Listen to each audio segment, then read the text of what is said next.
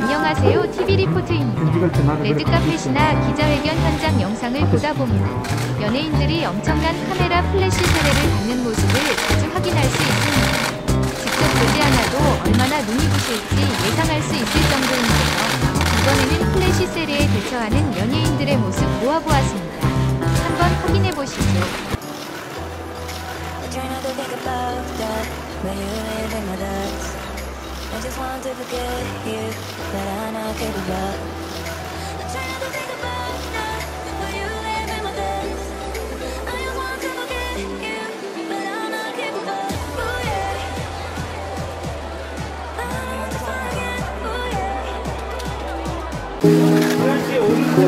Ooh yeah.